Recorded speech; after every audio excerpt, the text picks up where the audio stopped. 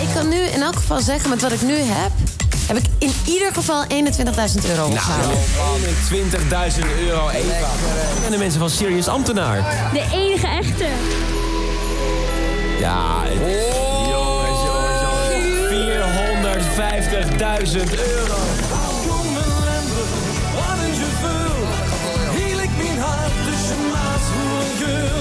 When I was now they can't.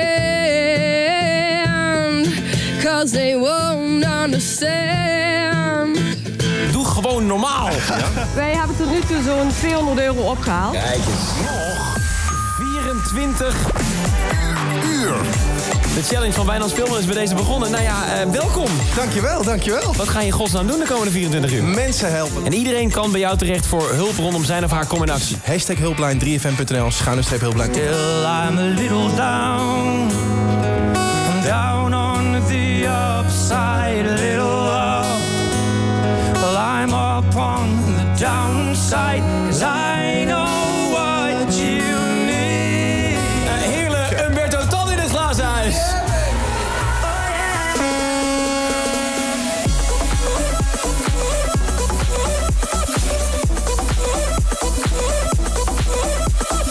Meneer Timmermans. Mijn oudste dochter die werkt in het Zuiderland ziekenhuis. En die heeft met haar collega lippenbalsem, handcrème...